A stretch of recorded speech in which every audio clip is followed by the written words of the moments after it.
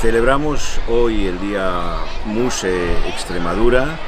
Eh, volvemos al Teatro Romano de Mérida. Hace seis años vinimos con nueve escuelas, ahora volvemos con 22 gracias al trabajo que hacemos en Extremadura con la Junta y con el Ayuntamiento de Mérida. Eh, nosotros estamos muy satisfechos de nuestra colaboración con Extremadura, que es pionera en este trabajo de llevar el arte a las escuelas y hacer que forme parte de la educación de las niñas y niños.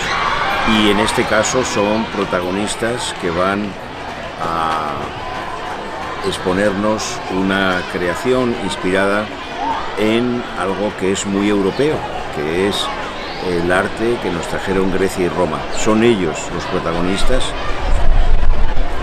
más de 700, 750 niños y cerca con sus familias y con las escuelas, cerca de 2.000 personas, hoy van a celebrar un gran día en el Teatro Romano de Mérida.